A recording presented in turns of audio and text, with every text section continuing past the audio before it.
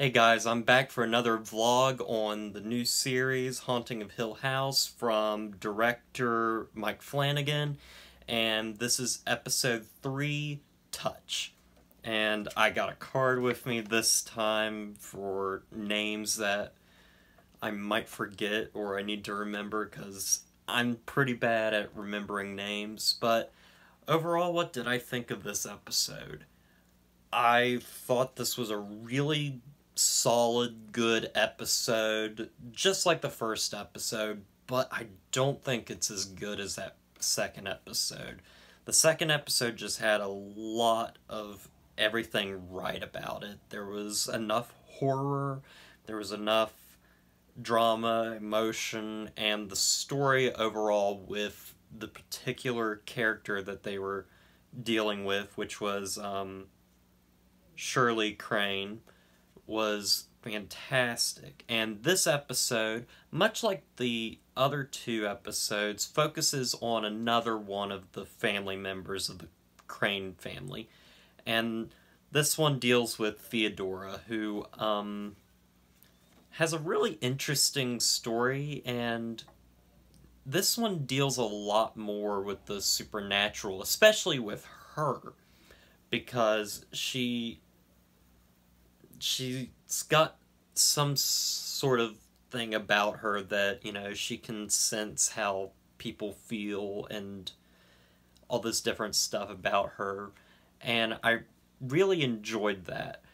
And it's very different from the other two things that we've seen before. And I really liked her story overall. A lot of the episode is dealing with her working at a foster care system to like see how things are going on with the children and her story is really nice there. But then also it of course flashes back as the show has been constantly doing to her childhood and dealing a lot with Hill House and that it's not a house that is uh, what what can I say?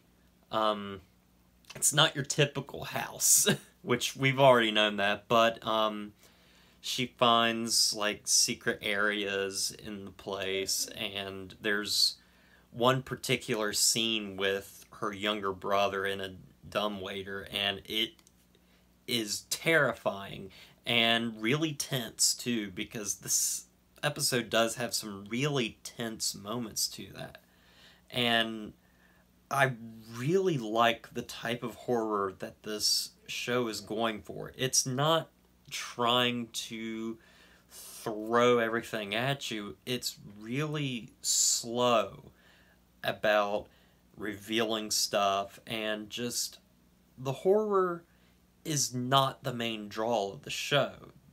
The main draw of the show are the characters and how they're dealing with you know stuff in their past and their present and their relationship to each other. And that's the strong part about this. I love the family dynamic in the show with all these different people these siblings that sometimes they don't always get along, but they are family and they do care about each other. And they're all just so likable and charismatic. And I, I just, I'm in love with everybody in this show.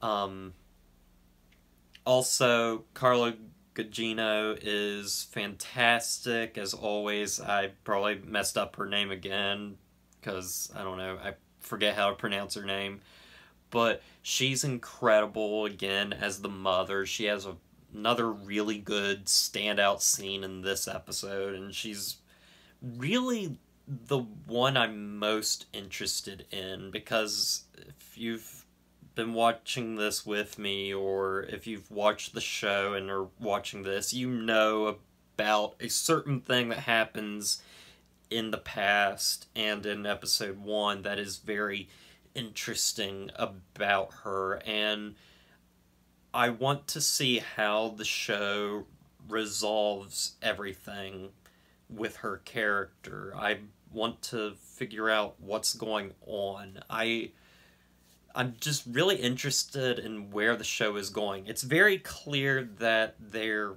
going with a each episode is going to focus on one particular member of the family and I feel like once that's done the middle of the show is probably going to be you know the big connective part where the show's going to take on and be something completely different where they'll all be together at once and it'll be their story instead of separate stories. But I really like these separate stories right now because it gives me a chance to understand the characters and I like having an hour devoted to each um, character, each sibling. I think that's a nice way and it gives you enough time to really understand who they are, what they're going through, and overall, I really liked this episode. I didn't, of course,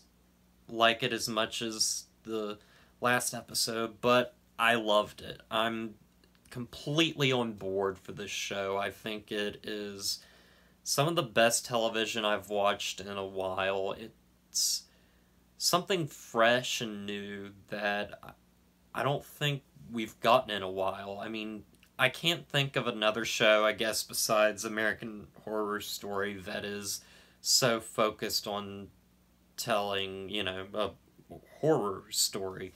I, but I like I like the haunted house kind of idea of it, but as I said, I really love these characters and I think it's interesting that that's the main focus. It makes it a very human story to where the point of the show is not to show scare after scare, but it's really about the emotion of the characters and they're all wonderful and they're acted wonderfully by some really talented people and Mike Flanagan proves he's just a very talented writer and director. He's so good and this might be the best thing he's ever done. I feel like I said that in the last one, but he's just really shown that he is a great director.